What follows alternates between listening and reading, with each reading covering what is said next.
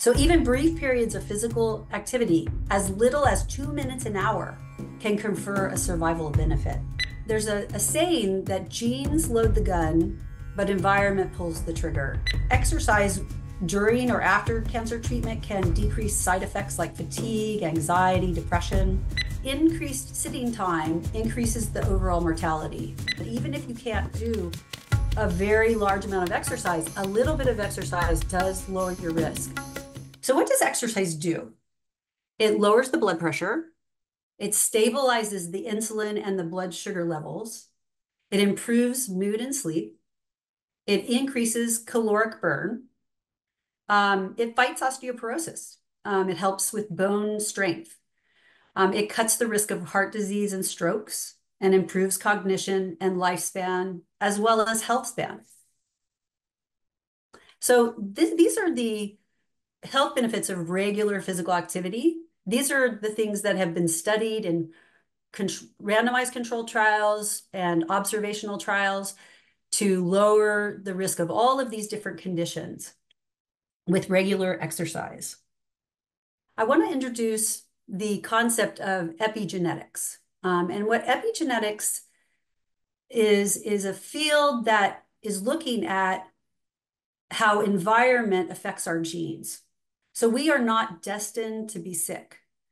Um, the influence of environment on our genes um, is, is what epigenetics means.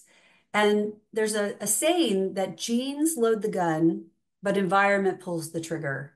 And a lot of different people have claimed that they said that first. So I don't, I'm not putting it to one person. I'm not giving one person credit, but it's a really interesting way to think about how our environment affects our genetic makeup and whether and whether the things that we do can help us get a disease or avoid a disease. So food and exercise, sleep and stress, trauma, supplements, mental health, toxic exposure, the list goes on. All of these things can influence if a disease is manifested or not. This is a slide that I like to show because it shows graphically the relationship of sitting with all-cause mortality, sitting and also physical activity.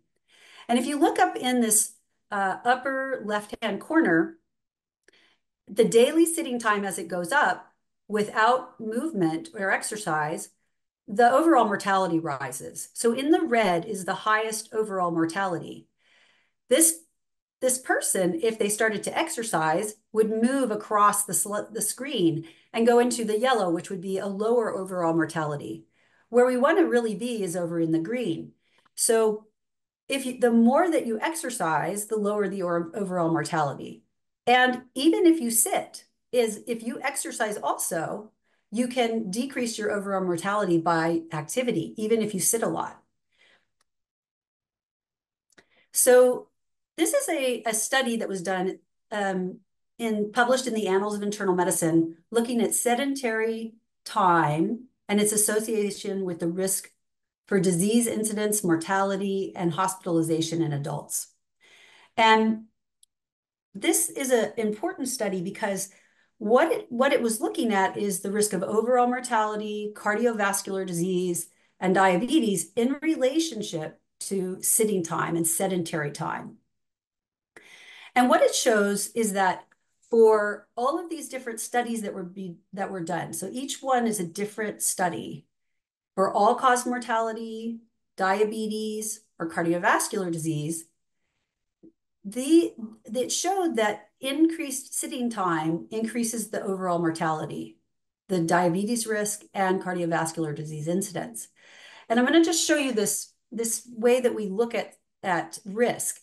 This line in the middle is, is called the hazard ratio. This is a hazard ratio graph. And the line in the middle means that there's no effect. If it's if the uh, if the effect turns out on the left, it means it's a lower risk. If it turns out on the right, it means it's a higher risk. And so for most of these studies, sitting time, sedentary time increase the risk of these different outcomes. So prolonged sedentary time was independently associated with deleterious health outcomes, regardless of physical activity in, this, in these studies. And this is also another hazard ratio. If you look here at one, that would be no effect. So people that didn't move and didn't exercise, they had kind of no effect at all. But pa patients that exercised even a little bit, the more that they exercised or the more that they moved, the lower the hazard ratio, which means that they had a protective effect from overall mortality. So even brief periods of physical activity, as little as two minutes an hour, can confer a survival benefit. And the risk of dying prematurely declines as people become more physically active. So you can see in this graph that as the minutes per week of moderate or vigorous activity go up, the risk of dying goes down. Now, interestingly, in this curve, and another one that I'm going to show you later, the biggest benefit is seen from people that go, go from doing very little to doing something. And then the curve kind of flattens out. So it's, it's important to know that even if you can't do a very large amount of exercise, a little bit of exercise does lower your risk. And this is physical activity in relationship to cancer. And I'm a medical oncologist, so this is really important to me. And, and I talk to my patients about this, but I like to tell the general public this as well, that Physical activity lowers the risk.